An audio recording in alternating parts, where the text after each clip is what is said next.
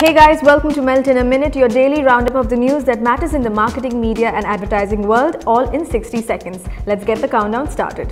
Google is striking back at Amazon's advertising push with three new shopping features and ad formats. The formats are in the form of discovery ads, gallery ads, and showcase shopping ads. These were unveiled yesterday at the Google Marketing Live event in San Francisco. Online fashion store Myntra Jabong has appointed Harish Narayanan as its new marketing head. Narayanan earlier headed APAC marketing for YouTube and comes with over 12 years of experience in consumer branding and digital marketing.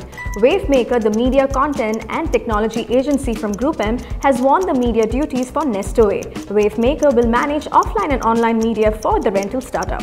Bajaj Group appoints Swati Bhattacharya as the Chief Communications and Brand Officer. Prior to this, Swati Bhattacharya was the Chief Marketing and Communication Officer at CK Birla Group. Finally, BARC will collaborate with its counterparts in France, Canada and Japan on the future audience measurement initiatives. This includes the development of a common technical standards and operational processes. Alright, that's what we have in store for you today. Before I wrap up, here's letting you know that Dave Trott, author and creative leader, will be speaking at this year's Z-Melt held on the 30th and 31st of May 2019. Don't miss it. And well, this is Ritvika signing off. We'll be back tomorrow with the top headlines and all that's buzzing in the world of advertising and media. Música